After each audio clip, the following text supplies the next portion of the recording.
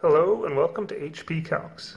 My name is Rick and today we're going to be looking at something that I've seen pop up on the analytics a few times, which is how to reset the Sharp EL510 RN calculator.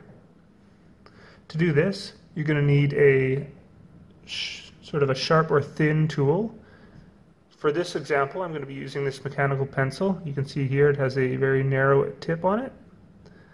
You can also use something like a toothpick or a pin, anything that has a narrow tip. All right, to reset, we turn it over, and then on the back of our calculator, here, we see this that says reset and then a small indented button here. To reset it, we simply press down on this button, and with sufficient force, you'll feel it go in and then release. This should have reset your calculator. We can confirm this if we want by saving a variable to one of the store slots. So let's store 100 to our x. There we go. We can recall it from x. See, we have it stored.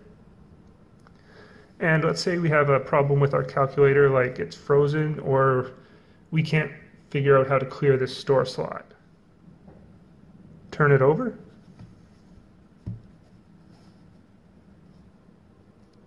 Press the reset button, feel it go in, release it, flip it over, and to confirm this works, we can try recall X, and you see we have nothing popping up, so this calculator has been reset. Alright, I hope this helps, and good luck on those tests.